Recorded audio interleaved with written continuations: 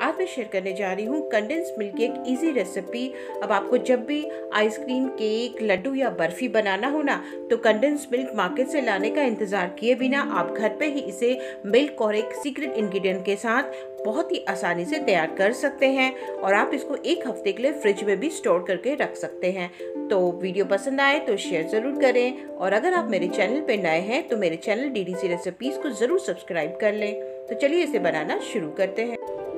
Hello friends welcome to my channel DDC recipe condense milk बनाने के लिए मैंने ले लिया है ये आधा लीटर फुल फैट मिल्क यानी कि 500 सौ दूध है ये, आधा कप चीनी और एक चौथाई चम्मच बेकिंग सोडा इसको खाने वाला सोडा या फिर मीठा सोडा भी कहते हैं। तो सबसे पहले हम दूध को रख लेंगे गैस में और गैस को कर देंगे ऑन फुल फ्लेम करके दूध को एक उबाल आने के लिए छोड़ दें। तो देखिए, दूध में उबाल आना शुरू हो गया है। तो इसको एक स्पेटुला की हेल्प से अच्छे से इस तरह से चलाते ताकि इसके ऊपर जो मलाई है ना, वो बिल्कुल हट जाए।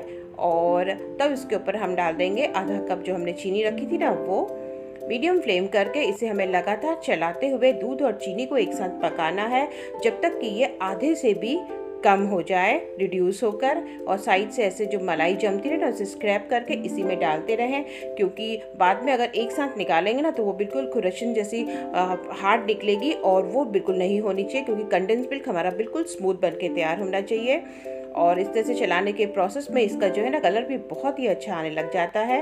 तो जब ये ऐसे रिड्यूस होके आधा रह जाए ना तो उस वक्त हम इसमें डाल देंगे लो फ्लेम करके बेकिंग सोडा लो फ्लेम करना ज़रूर ध्यान रखें, क्योंकि बेकिंग सोडा डालने के बाद ना इससे झाग सा फॉर्म होने लगता है तो लो फ्लेम होना ज़रूरी है।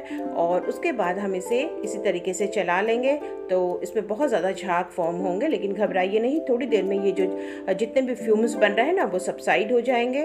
और बेकिंग सोडा से ऐसा होता है कि जो मिल्क हमारा है ना, बहुत जल्दी गाढ़ा होने लगता है, और उसमें एक बहुत ही अच्छा सा कलर भी आता है, आप देख सकते हैं। बिल्कुल अच्छा येलो सा कंडेंस मिल्क का कलर आना शुरू हो चुका हो। है। तो अभी हम इसको और चलाएँगे। अभी ये पका नहीं है पूरी तरीके से। तो हमने, जैसे कि मैंने स्टार्टिंग में कहा था कि मिल्क हमारा आधे से भी कम हो जाए ना रिड्यूस होकर तब ये तैयार होता है। तो अभी हमें इसे और चलाना है। मीडियम हीट करके हम अब इसको पका लेंगे और तो आप देख सकते हैं, ये गाढ़ा होना शुरू हो गया है। कलर भी इसका चेंज होने लगा है, लेकिन अभी इसे हम और पकाएँगे और चलाएँगे। तो अब देखिए, ये आधे से भी कम हो गया है और काफ़ी देखिए गाढ़ा हो गया है।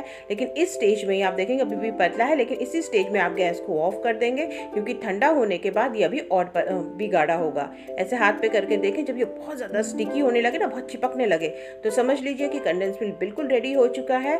तो इसे हम गैस ऑफ़ करके ठंडा होने के लिए रख देंगे।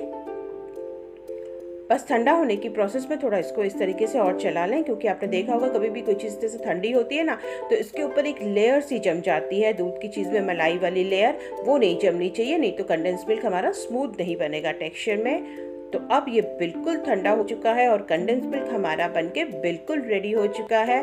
तो अब आप इससे आइसक्रीम, केक और तरह तरह की मिठाइयाँ जैसे लड्डू, बर्फ़ी बहुत ही इजीली बनाकर एंजॉय कर सकते हैं। तो इसको ज़रूर ट्राई करें आप। अब आपको मार्केट से कंडेंस मिल्क लाने की बिल्कुल भी ज़रूरत नहीं पड़ेगी। आप खुद ही घर पे तैयार कर सकते हैं। टेक्सचर देखिए इसका कितना अच्छा बना है। तो वीडियो पसंद आए तो शेयर करें और channel D D C recipes को सब्सक्राइब करना बिल्कुल ना भूलें। Thanks for watching till my next video good bye healthy रहिए, खुश रहिए।